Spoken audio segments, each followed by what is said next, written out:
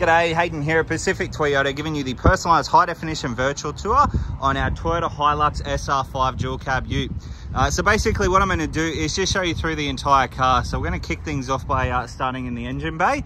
Um, then we'll work our way through all the paint and panel in the vehicle um, and then work our way into the interior, going through all the instrumentals, all the service history and all the, um, I guess, the interior condition. So we'll kick things off. We'll uh, pop the bonnet here, make sure there's an engine, which there is. So we have a 2.8 litre turbo diesel engine. As you can see, under the hood, nice and tidy. All nice and clean, firewalls all intact, all the original stickers uh, on the bonnet there. Close that one down. Let's give you a look up the front of the bonnet. As you can see, there is no visible dents in the bonnet. Paintwork wise is pretty much immaculate apart from a little stone chip just here. It's just a bit of bug splatter. Same with that. Bug splatter there. So realistically, there's only really one, yeah, one stone chip on the bonnet, which is just that one there. Um, on the front bar, we got a bit of a mark here and also one just here. So we do have your front facing sensors through the front as well.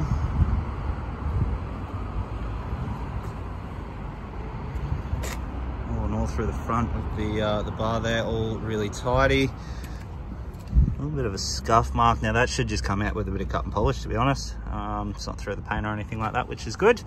Down the uh, driver's side here, as you can see, no visible dents in any of the panel work.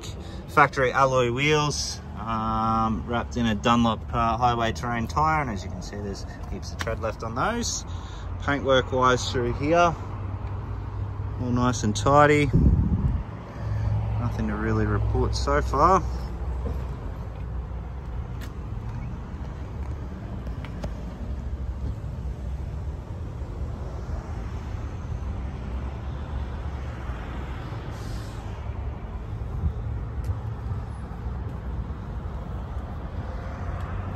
Slight little mark just there.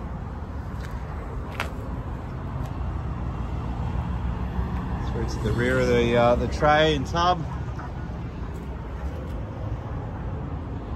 Reversing sensors, reversing camera. The actual tub itself looks like brand new to be honest. There's a couple of little marks on it, but nothing, uh, nothing major. Nice and clean through there. And then popping down the passenger side this time. Again, all in fantastic condition as well, no visible dents. Paintwork wise through here. Again, all in really good condition. I'm just to duck across like this car. Obviously factory running boards along the base there. The paintwork through here is in fantastic condition as well. All right, lock the car. So in the back here we do have uh, factory rubber floor mats, air conditioning vents, tow bars in the back there and all the seats are all in perfect condition as well so there's no rips or stains or tears or anything like that which is awesome. Just coming across we'll jump into the driver's seat. Now the vehicle does come with two remote keys and then two auxiliary keys as well. We do have passive entry for the door at the front here. Rubber floor mats again all nice and tidy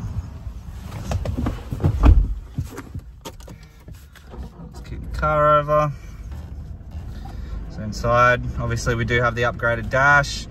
Um, no warning lights on that dash either, which is pleasing to see. Uh, 15,786 Ks on the clock. Um, stereo and Bluetooth controls just here. Cruise control, center screen controls, and then you also do have your lane departure and radar cruise. Down here, push button start, your idle up, parking sensors, and manual DPF burn off button. All your window controls are just over here. Um, now they are a power folding side mirror as well. Uh, inside our dash, you can see the little traffic sign up there. Um, so that basically tells you what speed zone you're in. So there's sort of takes the guesswork out of out of it for you. Um, so uh, it's a bit of a, I guess, a bit of a game changer. Um, if you're unsure on what speed zone you're in, it'll it'll tell you. Um, over into your infotainment system. Now this is fitted out with satellite navigation as standard obviously all your radio controls, Bluetooth controls, all that sort of stuff. So we'll just go to a station here.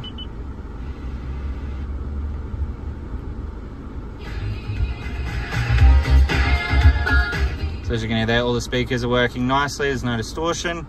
Um, we'll go to setup and you can see here we do have your projection settings, which is your Apple CarPlay and Android Auto. Um, backup camera, down here, dual zone climate control settings, all your full driving options, um, two 12 auxiliary ports, you got your IMT, um, you've also got um, your USB and AUX, downhill assist, uh, rear diff lock is standard and obviously traction control, power and eco mode, six speed manual gearbox. Nice lodged on the console with a 100 watt inverter. Now that's a, uh, a leather wrap finish as well. And then just in here, all our books and service history and owner's manual. If we get across to the actual servicing itself,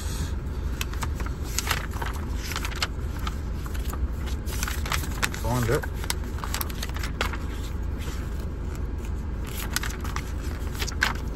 Go. So first service there done at 10,000 Ks and not due till 20,100. So a uh, full service history with the vehicle as you can see and as you would expect from something that's only done 15,000 Ks. Um, so what we'll do, we'll turn this one off. We'll jump out and give you a final look over the vehicle now. Alrighty, so that is our Toyota Hilux SR5. Uh, dual cab ute. I hope you enjoyed the video. If you do have any further questions, please don't hesitate to give me a call. Um, but I look forward to doing business with yourself very soon. Cheers.